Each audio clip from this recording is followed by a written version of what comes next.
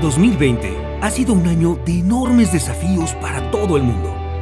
en el que la sociedad en su conjunto se ha visto amenazada por una crisis sanitaria global que sorpresivamente transformó muchos aspectos de nuestra cotidianidad. Pero también este año hemos presenciado innumerables gestos de auténtica solidaridad por parte de cientos de mujeres y hombres que han luchado incansablemente para que las personas afectadas por una nueva y desconocida enfermedad recuperen su salud. Nos referimos a los médicos, enfermeras, camilleros, operadores, administrativos y en general todo el personal que labora en los hospitales que atienden el COVID-19 en el país, a los cuales deseamos rendir un sencillo homenaje dedicándoles el árbol de la esperanza de IMSS. La decoración de este magnífico árbol está inspirada en la leyenda del venado azul,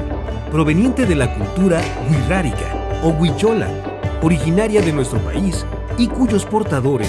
son descendientes de un pueblo profundamente arraigado al desierto, un entorno geográfico adverso en el que, sin embargo, lograron vivir armónicamente aprovechando sus escasos frutos para el pueblo wixárika, el venado azul representa al portador de los dones que la naturaleza ofrece a los seres humanos para poder sobrevivir, aún en las situaciones más complejas y difíciles. Por lo que también simboliza un regalo de vida para enfrentar la adversidad y superarla. En esta circunstancia que vivimos hoy, el personal de salubridad ha sido el portador de un regalo de vida para millares de personas, a quienes han cuidado infatigablemente con lo mejor que tienen. Sus conocimientos científicos aprendidos a lo largo de numerosos años de estudio y preparación clínica, pero también con el compromiso, empatía y sacrificio que muchas veces supone la práctica médica. Es así como los trabajadores de la salud, que están enfrentando con valentía a esta pandemia, son los héroes y heroínas de nuestro tiempo,